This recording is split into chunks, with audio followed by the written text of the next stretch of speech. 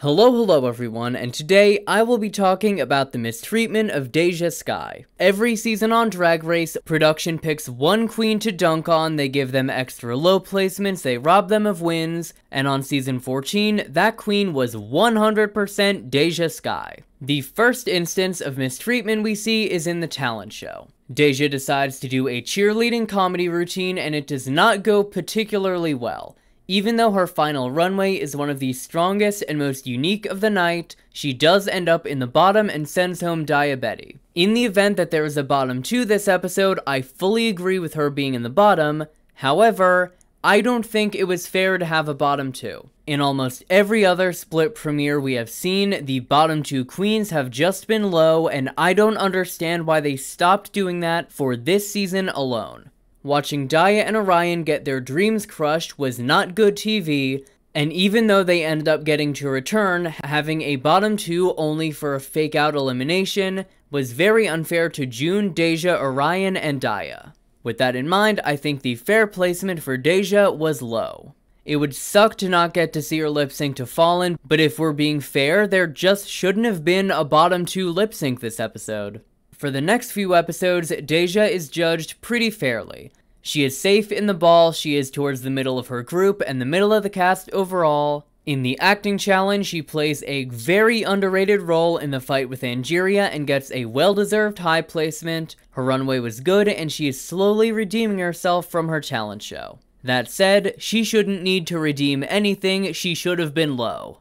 The next challenge is the advertising challenge, and while she did do a very good job this week, I don't think I could justify putting her in the top over someone like Angie, Bosco, Camden, or Maddie. In this episode, she was safe, but 100% high safe. Next is Glamazon Prime, and this is where we really start to see Deja get thrown under the bus. Maddie Morphosis flopped this challenge and is one of the slots in the bottom two, leaving us with Jasmine, Deja, and Kerri. Looking at Jasmine, the final product looks okay, it's just that the finer details are not there. As for Deja, I think she did fine. She had a concept, she had a few materials that worked with each other very well, then we have Kerri Colby. I think Kerri is a very entertaining and talented queen, but this challenge was just not it for her. Credit where credit is due, I think the hair, makeup, and accessories were pretty solid. Unfortunately, the dress as a whole was just not there.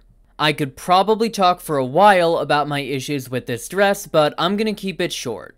Due to the giant woven piece of beige fabric, you can't really see the shape of the dress or really any details, and the dress itself is just kind of a mess. I wish I could say I knew what she was going for, but honestly, I, I don't think I can. With all of that in mind, I truly don't understand why Deja was low over Kerri. Like, from a production perspective, I definitely would have understood if they put Kerri as low to have Jasmine and Maddie lip sync after that fight, but I truly don't understand why Deja ended up in this when she was pretty clearly the best of the four. She was the only one who had a clear concept of what they were doing, her final runway looked good, there were intricate details, but there were also places for the eye to rest. Deja should have been safe this week, that is all I have to say. Then is Daytona Wind, where Deja is pretty fairly safe. I think she did a good job, but I couldn't really justify putting her in the top over anyone else. Next up is the second Final 9 challenge, which is girl groups. Deja does an incredible job. Not only is she very entertaining throughout the challenge, her teammates both kind of flop, and she is at a massive disadvantage as she ended up with the worst song of the three. Ignoring all of that, Deja spins Straw into gold and ends up giving one of the strongest performances of the challenge, getting a well-deserved high placement. Then we arrive at the DragCon panel hosting challenge and Deja is robbed. The top two queens of the challenge are Bosco and Deja. Looking at Bosco, she had an okay runway and a great performance individually in the challenge. Unfortunately, she got the role of moderator. If you are the moderator, you are partially responsible for how the other people in your group do, and while I do still believe Bosco deserved to be high for the performance she gave, Deja deserves to win this. Bosco might have been really good, but Deja was just great this week. There isn't a single aspect of this challenge where she did not dominate. In the challenge, I think her pacing of the group was flawless, and she was the best one there in terms of the actual challenge. Then on the runway, she absolutely dominated every other member of this cast.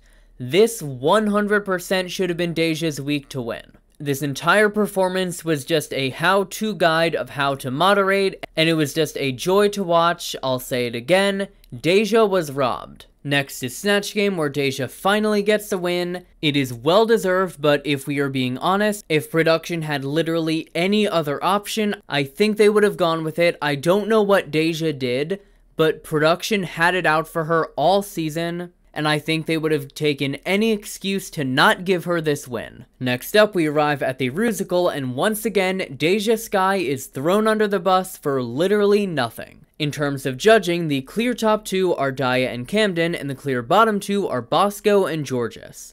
That leaves us with Angeria, Deja, and Willow.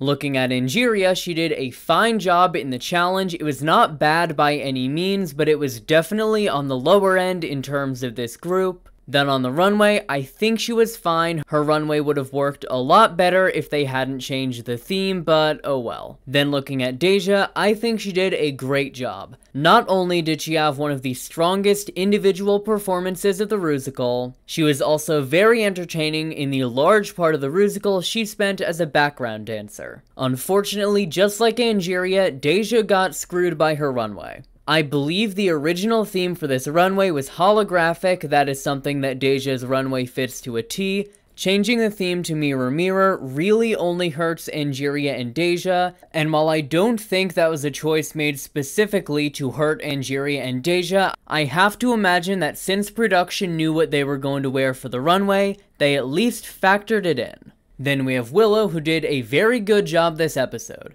I think choosing to play the Green Fairy and only actually be on the stage for part of the performance was a very strategic move and I applaud her for it. In terms of the runway, it's not my favorite, but I definitely see the appeal. With all of that in mind, I think the fair judging would be Angie as low and then Deja slash Willow as safe or high, but that really just comes down to personal taste, at least for me. While she was robbed of a win in that hosting challenge, I think this is the worst episode in terms of the mistreatment of Deja. While in the past, a lot of it could technically be explained by personal taste, in this episode, Deja is fully just thrown under the bus because production doesn't want to put anyone else near the bottom. It was incredibly unfair and Deja deserved a lot better than she got all season.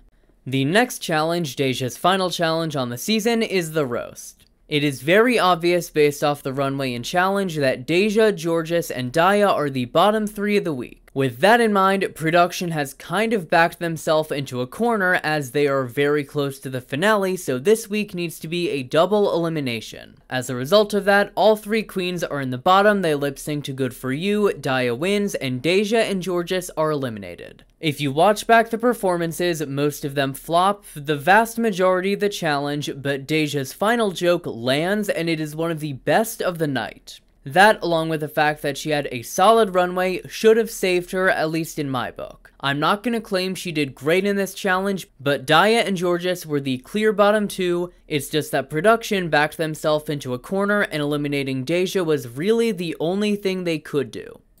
The next challenge is the Rumix, and this one is a bit difficult as it is one of the only modern seasons of Drag Race to not have a traditional girl group challenge.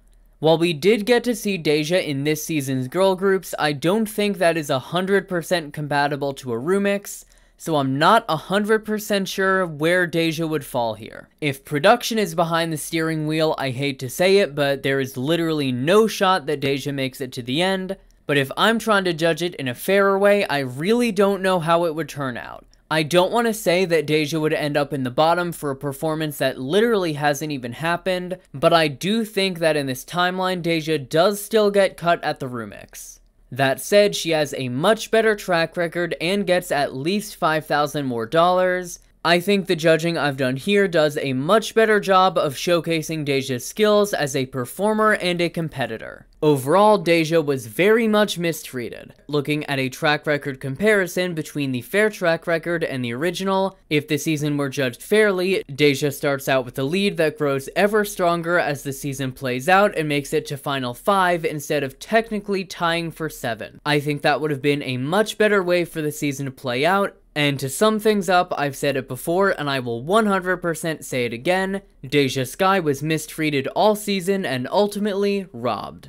Hey, it's Drag Race Rejudged. Do you want gay Well, then you should check out the RuPaul's Drag Race Rejudged YouTube channel and hit subscribe.